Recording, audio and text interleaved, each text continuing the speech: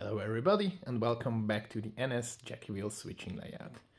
So before this year comes to a close end, I decided to do a short update on the current state of the modules and the layout.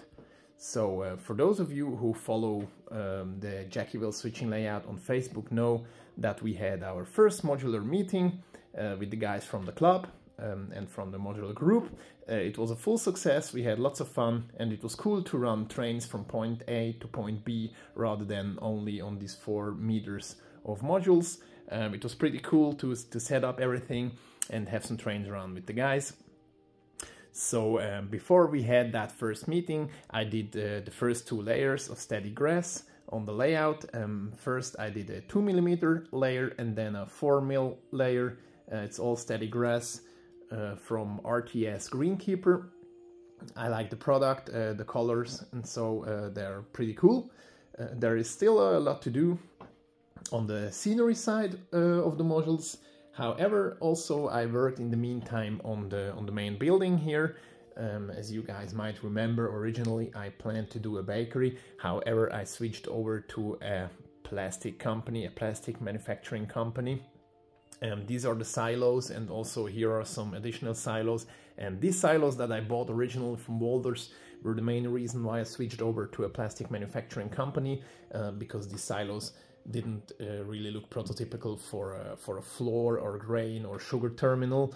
Um, so these are more convincing uh, so that I can use them for a plastic pallet transfer and that is what I decided to do. So I have some Atlas 5660 cubic feet Pressureaide covered hoppers. Those are originally from the BLMA tooling. I have, uh, I think, six to eight cars of those, um, which can be used here for the loading and unloading, um, unloading the pallets into the silos, and the silos pump them over to the company itself. And here they are gonna um, load the the plastic products of all sorts into box cars and that allows for a variety of different cars. Here the Pressureaide uh, hoppers and then over here we are gonna use some box cars.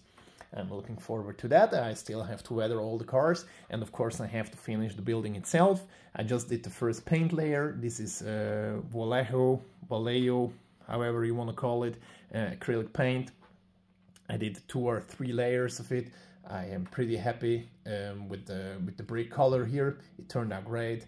I'm gonna do some weathering on the building and of course I'm gonna add the doors and also the loading docks over here and then some ladders and fire escape over here and of course I have to finish uh, the additional four silos there. So um, I also have some of Tom Klimovsky and Lance Mindheim's book about uh, shelf layouts and modular layout building and um, the more I read in those books the more I was unhappy with the scene over here. So you guys might remember that originally I had a, a concrete paved area in this gray color, like it is right here, all the way from here down to the end of the fourth module right there in this spot. I had all the same color and it looked like a, a big um, paved concrete area. I didn't really like it and uh, also for uh, for another effect I decided uh, to do some some changes here. So I decided to add some little hills here. And uh, once this has dried out completely I'm gonna add a second layer of plaster. And once that had dried I'm gonna paint everything here brown. And then I'm gonna cover it with static grass with bushes and trees and weeds and stuff like that. Because I decided to add a little bit of variety to the scenery so I wanted to make some sort of a cut from that uh, industrial part of the layout to the to the team track, which is in the background there, and the scrap loading facility. Uh, I really didn't know how to make it because otherwise I would have to add a river, a river of some sort, and I wasn't able to do that because uh, the module shelf is already done. So I decided to come up with this with the with the idea that we're gonna add a little forest or at least some trees over here and that adds for a visual cut between um, the two industrial parts of the layout. Uh, I think that is gonna look way better than like it is now with the, with, with, with the concrete paved area here. And that leads me to the next point. I still didn't do anything on the road crossing right here. I really have to, to push uh, forward this project and to finally finish this road crossing here. However, um, actually it was by accident. Uh, we're gonna switch sides here on the modules, just a second. So as I mentioned before, all the way from the end of the module all the way up to here it was the same grayish bluish color like it is here and I didn't really like it. Uh, I wasn't happy with the with the after all effect, but I had no idea what to do, so I finally came up with an idea. I took an enamel-based wash and I added this wash to the completed paved area all the way down to there.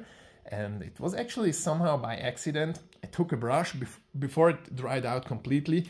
I played around a little bit with the brush and then I noticed that um, using a brush I can uh, wash away some of the, the applied material and I came up with this final effect here. I am absolutely happy with how it turned out. Check this out. It really looks like a dirty industrial concrete um, grime mixture like it has originally been a concrete pad. However, with all the winters, with the harsh winters and, uh, and the ice, um, it started to, to, to make some cracks and to uh, to wash away some of the top concrete layer and uh, I'm pretty convinced with how it turned out. I absolutely love the effect how it is right now.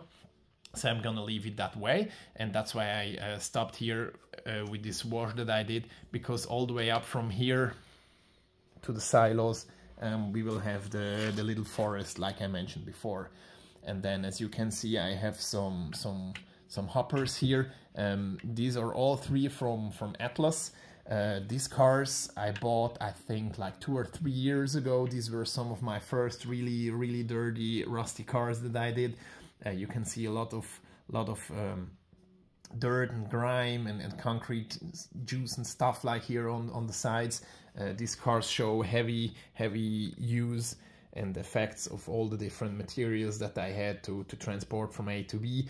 And um, since my era that I model is from 2008 all the way to 2018, and I stop at 2018, I had to adjust a little bit with my cars. So these cars are in service since a couple of years. However, this car over here is pretty new. It came out of the paint booth uh, just a couple months or years ago. That's why the car itself is pretty clean so far. It doesn't have really rust on its side. It just has some some paint and dirt on the inside from the first couple loads. Uh, I also added uh, Sergent E-type couplers to all these hoppers over here. And then I also added some of the couplers to this uh, to this NS Gevo. This is a DC Gevo. It's 7505. And then I also added uh, some Sergent couplers to these cars right here. I'm gonna show you these ones here next. We're gonna uh, switch sides here again. So these cars really turned out great. The, this is an Atlas Pressureaide covered hopper. I think this is also, also originally by BLMA when they bought up their tooling. However, I'm not sure on that. Uh, it doesn't really matter. The car is absolutely beautifully detailed. I really like how it turned out with all these effects, with the washes from top to down and also on, on the top area here. This car has been heavily used uh, in the cement transport for Roanoke Cement. Uh, I'm gonna use this car in service here. I also added some E-type couplers on both ends. Uh, these are Sergent E-type couplers. And then uh, we are going over to the next one here. This is a six-axle DODX military flat car. So this car has just uh, recently been finished. I really like how it turned out.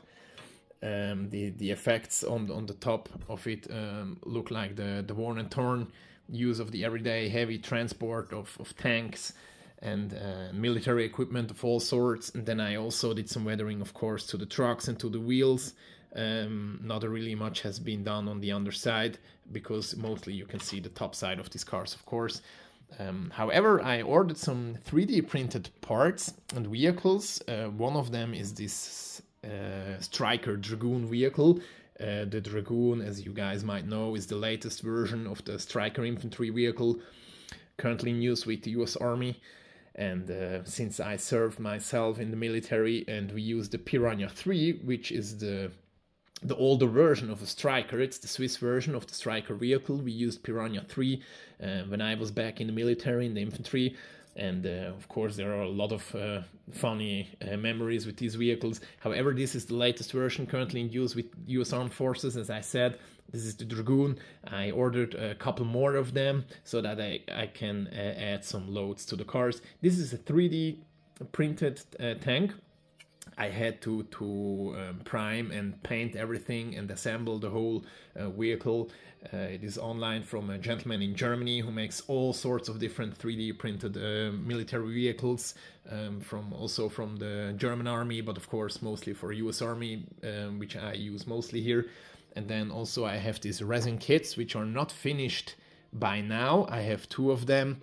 Uh, I bought them like two years ago. These are from Arsenal M. Uh, they are no longer uh, available, unfortunately, because Arsenal M uh, sees the procedure of uh, the production of, of the resin kits. They only offer the plastic kits, um, so these are not available anymore. However, um, I'm gonna do these two vehicles. They are not finished. Again, you can see the windows are still masked. the the the tracks are not painted so far so there is a lot of work to do but I, I'm gonna show you so this this military transport is gonna look like that with all sorts of different vehicles I try to buy mostly vehicles that are used by US Army uh, so that I don't have to mix it up with vehicles used by the Marines or Navy or whatever.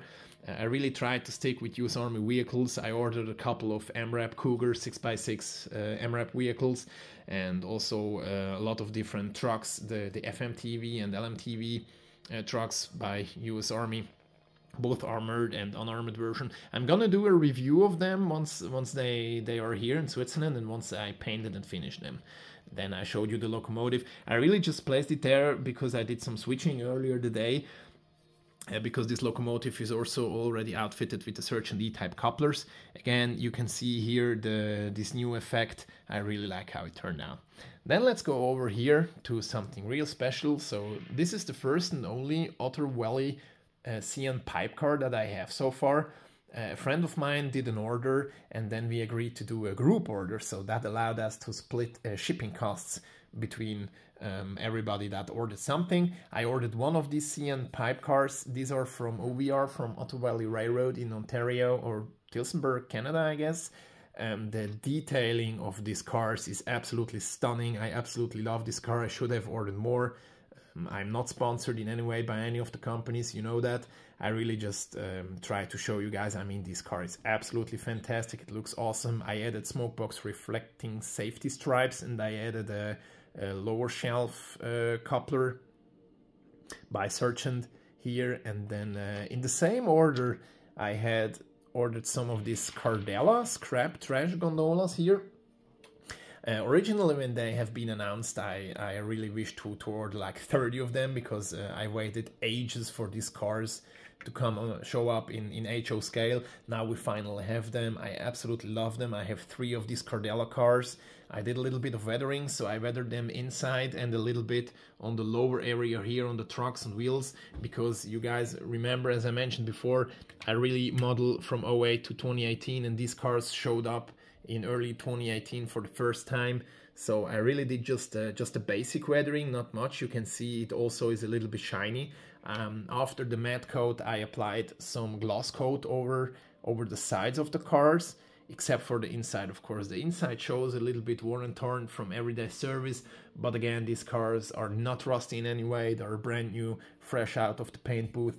Um, they really have uh, just a little bit of grime on the sides, on the lower areas, and some kick up, but really not much and I did uh, three of them. I tried to order the lower numbers, so this is 08, 05 and 03 these are the lowest numbers that I could get um, so that I can uh, still stick to the prototype from 2008 all the way to 2018 as I explained before and also recently um, a shipment of some vehicles arrived so I have this little trailer here um, I'm not sure what I'm gonna use this one for maybe for some maintenance of way um, you can place this, this rams here in a loading unloading position if you prefer.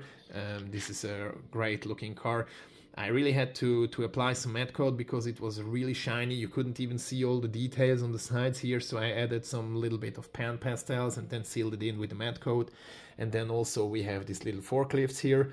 And these are gonna be placed uh, somewhere on the loading track, maybe maybe in the background here on the team track, um, or maybe here at the scrap yard. I'm not sure on that. And in the same order, we have this uh, this Mercedes-Benz van. This is a US version.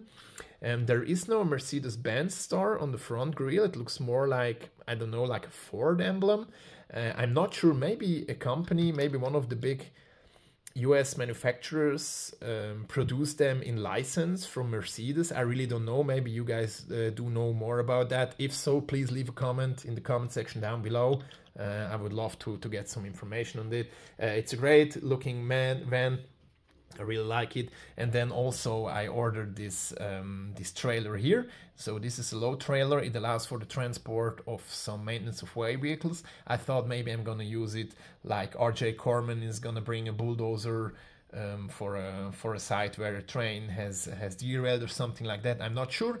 I didn't. Uh, maybe the weathering was a little bit too much. It's too much dirt. Maybe I should have kept the the car uh, the trailer a little bit cleaner.